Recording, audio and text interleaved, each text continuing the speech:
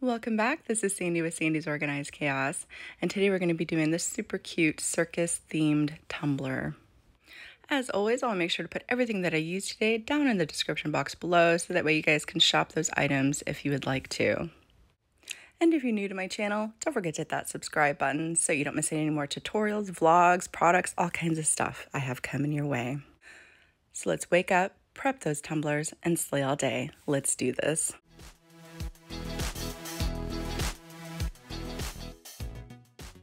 Today I am working on a 20 ounce skinny that I purchased through the stainlessdepot.com.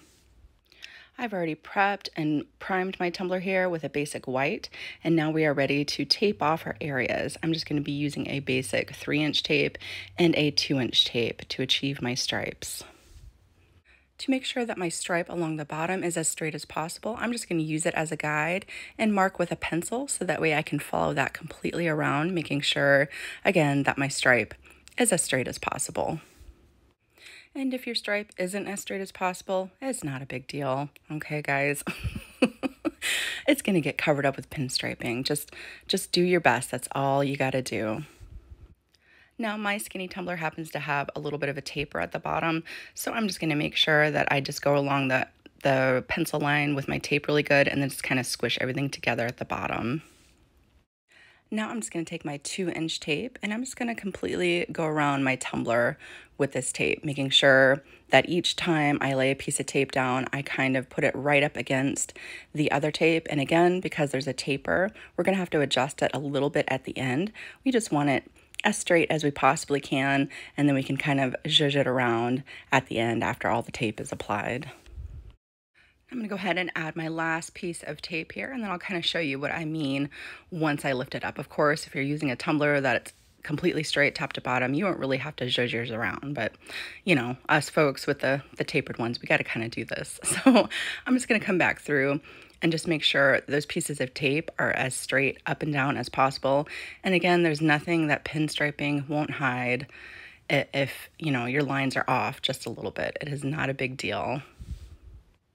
I'm essentially just making sure that the little gaps that are poking through are about equally the same completely around. Now that my lines are as straight as I could get them, I'm going to go ahead and remove every other piece of tape. Now, if I was doing a bunch of these tumblers at once or, you know, a, a, few more than just one, I would definitely hold on to those other pieces of tape that I just took off and reuse it for another tumbler to do the same design. Now I'm going to go ahead and take this outside and I'm going to spray paint it this Prickly Pear by Rust-Oleum. It kind of goes with the glitters that I'm going to be using today, so that's why I chose that. So my stripes are all dry. It really depends on your environment, how long they take. It took probably about 30 minutes for mine to dry. I went ahead and removed those other pieces of red tape. And again, you can save those for another tumbler if you're doing a bunch of them at once. I'm going to reuse that tape along the bottom to kind of mask off around where my stripes begin there. And as you can see, because that paint is so fresh, I just wanted to make sure that it's not going to really peel up my paint. So I went ahead and stuck it on my towel or I stick it on my shirt and just to make sure it's not as sticky so it doesn't peel up all kinds of paint off of my tum my freshly painted tumbler. As you can see, some of that white did come up, but that doesn't bother me because we're going to be spray painting it this seaside blue now that we have our color template all laid down on our tumbler, these are the color glitters that I'm going to be using. I'm going to be using Sangria for the red. I'm also going to be using this Fuzzy Navel, which is a beautiful white chunky mix with a little bit of pink to kind of go with the Sangria. And I'm also going to be using Oceanside, but of course you guys can use any type of glitters you already have on hand. Now I'm just going to use Mod Podge to apply my glitters, but you guys can obviously do it in any fashion you would like. If you'd like to apply your stripes and all that with the epoxy method, please feel free to do that. But I'm just going to go ahead and use Mod Podge. And as you guys can see, I'm, I'm applying my Mod Podge almost like how I would paint some fingernails. I just start at the top, I make like a little ball of glue, and I just press everything down completely all the way to the bottom, making sure that everything's nice and coated and there's no peaks and valleys in my glue.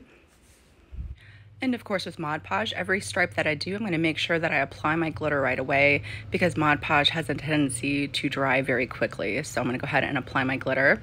Then I'm going to do this process completely around my tumbler where I do every single stripe in the sangria. Now, the reason why I chose to do the sangria first is because that's my darkest color, and it just makes it easier when you go to apply the lighter colors as you go. Because next I'll be doing Oceanside after I'm all done here, and then I'll be applying the Fuzzy Navel last, and it just makes sure that none of those little red glitters get stuck down into my other colors. Now, as you guys see here, I'm very carefully taking my chip brush and sweeping away right next to my color. You just want to be careful because that Mod Podge is still wet and you don't want to disturb the glitter. You just want to remove the little extra pieces so that way we can keep moving and keep applying those glitters. And just like the stripes we did, I'm just going to apply my Mod Podge, making sure there's no peaks and valleys in that glue. Then as soon as I am done applying my Mod Podge, I'm going to go ahead and apply my glitter. Then I'm to kind of sweep off any little extra blue pieces that might be on there. I'm going to take a smaller brush this time and kind of get up next to, see right there, I'm just going to take a very small brush and just kind of sweep those away. And then we'll be able to move on to the white. Once I have my little blue pieces all swept away, I'm going to do the same exact thing like we did with the sangria. I'm going to start at the top and just very carefully kind of push my glue and then just drag it all the way down to the bottom, making a nice line. And then we'll apply that chunky glitter to this. Now I'm just to keep going completely around my tumbler, filling in my white chunky stripes. I'm to let that dry for a couple hours because with Mod Podge, you want to make sure that it's completely dry before you add your epoxy because if you don't, you run the chance of it not being completely dry and it will turn your epoxy kind of a milky color and we definitely don't want that. So make sure that these tumblers are very dry before you add your epoxy. Now, I know stripes can sometimes be a little scary, but I know that you guys got this. Now, once my tumbler was nice and dry, and to ensure that our stripes stay as pure as possible, I went out and I gave it a nice coating of my two times ultra clear gloss here just to make sure again that those glitter glitters will not shift around and I just kind of take my glove just to verify nothing is going to shift once we apply our epoxy. And the epoxy that I'm using today is Alumilite's Amazing Quick Coat Epoxy. It dries a lot quicker than normal epoxy so that way we can get those projects done a little bit faster. And of course, every layer of epoxy that I apply, make sure that I hit it up really good with my torch. I just do a couple swipes. You just want to move very quickly. You don't want to stay in one place with it. I just let it rotate about once or twice, and then that's it, just to get rid of any of those little micro bubbles that might be under there. Now this was about six or seven hours after I applied my epoxy. Again, it depends on your environment on how quickly your epoxy cures and it is no longer sticky. Now I wanted to give my tumbler kind of an antique look, so I found this Argyle print that I had printed out on some clear water slide paper. And for those of you that don't know how to use clear water slide paper or never have, I'll go ahead and attach a link right above so that you guys can simply tap on it and I'll show you exactly how to use water slide paper. But I have my little squeegee. I have a nice bowl of water so that way I can get my paper going here. So I'm just go ahead and dunk that in and then we'll be ready to slide it onto the tumbler. Now let's say you're working with a tumbler that's a little bit bigger than this because I was able to do this full water slide paper completely onto my tumbler here. But let's say you're working with something that's a little bit bigger. You could absolutely just go ahead and make pre-cuts where you just cut the width of the stripes that you want to do. You don't have to do a full wrap. If you just want to make sure that you get in with the white there, you can just make those stripes, cut it, and apply it that way. There is no right or wrong when it comes to making art. Whatever way you guys feel more comfortable doing it or whatever way works for your project, do it that way. Now that my water slide is able to be moved and easily come off of the backing, I'm just going to simply wrap it around my tumbler. There will be some overhanging sections because again, this tumbler isn't straight. So we will just have to make sure that we come through and trim everything up. You just want to make sure you go around completely the best that you can, and then we can always come back through and trim off any excess. Now, once I have this paper completely off, I'm just gonna go ahead and slide it off right here. I'm just gonna come through and kind of push everything around and make sure there's no wrinkles in my water slide paper. I'm just gonna take my hands and very carefully kind of push everything out. Then once I have that all adjusted, I'm just gonna simply take a very sharp knife and I'm gonna go ahead and trim up any little areas that need to be trimmed. Right there along the seam needed to be trimmed. So I'm gonna go ahead and peel that extra backing off there. Then I'm gonna come through and do the same thing around my blue area on the bottom here. I'm just gonna take my nice straight or nice sharp knife and go completely around the seam and do the same exact thing. And before I trim up the top, I'm going to go ahead and take my little squeegee that I had on hand there, and I'm going to go ahead and start removing all that extra water out from behind my water slide paper before I trim the top.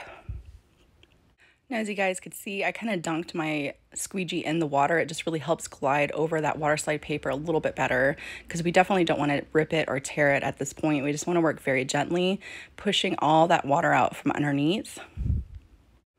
And once all that water is removed from underneath, I'm going to go ahead and trim off the top here. And again, I'm just going to take my very sharp knife, working very carefully, making sure not to rip my water slide paper. It could very easily rip at this point. So just make sure your knife is extremely sharp and can glide right through that paper so that way it doesn't make any little rip marks. But if that happens, guys, it's not a big deal.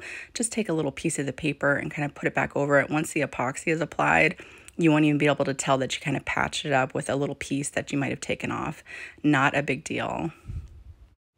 Now I'm just going to take my towel and just kind of really make sure that all that water is out from underneath and then I'm going to set that off to the side and let that dry.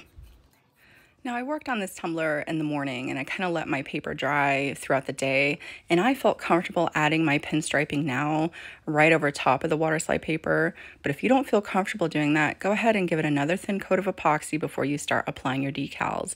But I felt comfortable enough to do it this way. So that's what I'm going to go ahead and do. Now the vinyls that I'm using are a textured metallic vinyl, and that's just a Cricut brand that I purchased at Michael's.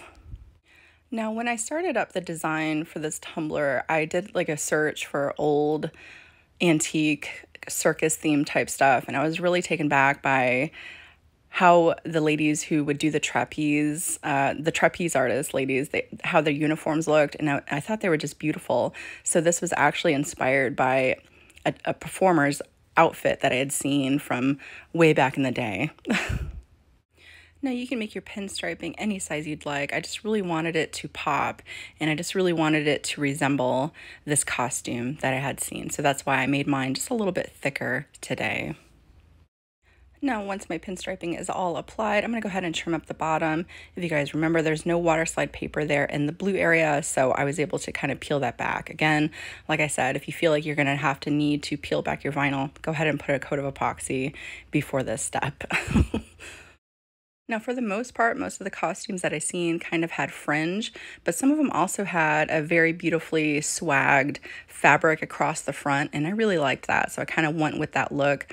This was just a basic scallop that was available in my Cricut design space. That's, that's all it is, just a very simple scallop.